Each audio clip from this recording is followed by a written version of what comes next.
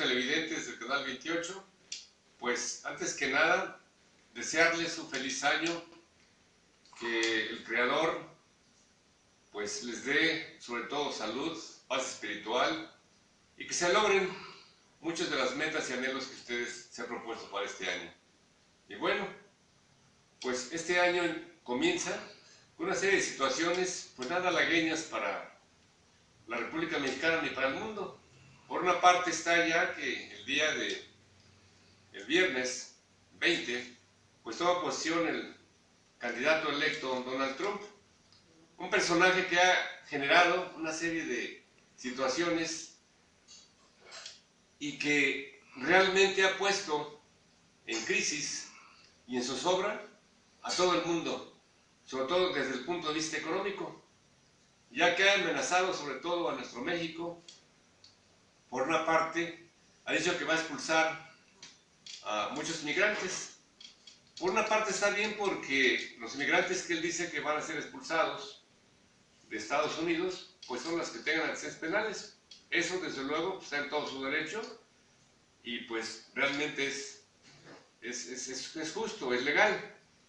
Pero por otra parte, ha amenazado también con retirar muchas empresas que están actualmente eh, asentadas en México, sobre todo las de las automotrices, amenazándolas de que si no regresan sus capitales a Estados Unidos, les va a imponer una serie de aranceles impuestos que va a ser muy difícil que esas, que esas empresas puedan competir.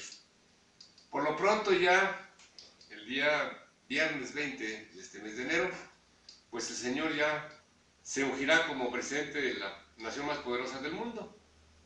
Por otra parte, últimamente los acontecimientos aquí en México, como el señor Playa del Carmen, en Cancún, Quintana Roo, pues eh, una zona turística de alto turismo, pues ha generado una serie de, de, crisis para esas gentes, puesto que la mayor parte de la población de ese lugar, de Quintana Roo, los lugares, pues se mantiene del turismo.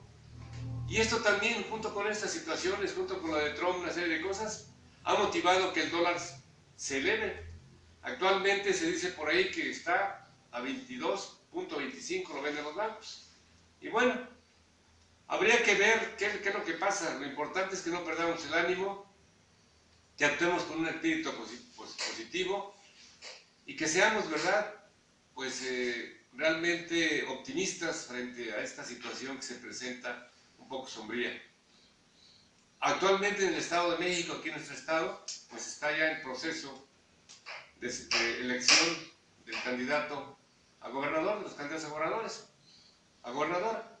Ya los partidos por ahí andan ya manejando nombres y el PRI pues anda, ya me invitó la convocatoria para que, invitando a su militancia que participe como candidato, y seguramente vamos a tener una elección muy competida. Por una parte creemos que no va a haber colisión, puesto que tanto el PAN como el PRD están sumamente divididos.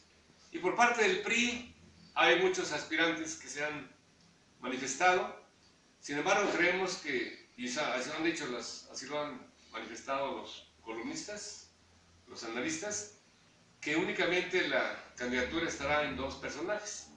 Por una parte, por una parte la, la actual secretaria de Educación Pública del Estado, Ana Lilia Saldo Herrera, y por otra parte, el maestro Carlos, el doctor Carlos Iriarte, presidente del Comité Directivo del PRI.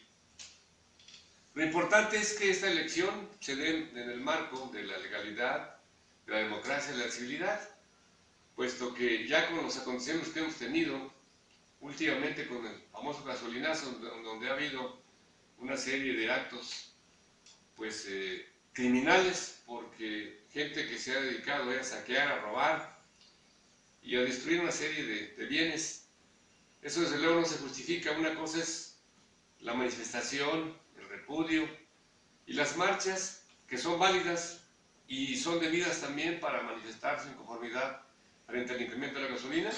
Y otra cosa es las, las gentes que aprovechan de esto, que son delincuentes, que están por ahí agazapados esperando la oportunidad para, para delinquir. Y en este caso, para saquear muchas tiendas de conveniencia y muchos negocios que se vio descaradamente como familias enteras estaban por ahí, mujeres y jóvenes, ¿verdad? Y eso no es debido.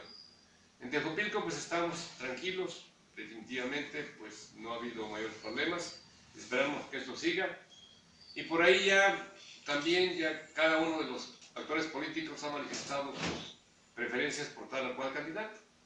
Esperemos pues que este año, no obstante que la cuestión política va a estar en auge, guardemos civilidad, tranquilidad, mesura y como lo dije al principio, pues que los anhelos de la gente y la, la paz, la tranquilidad reinen entre nosotros. Gracias, buenas noches, seguiremos comentando a través de este medio.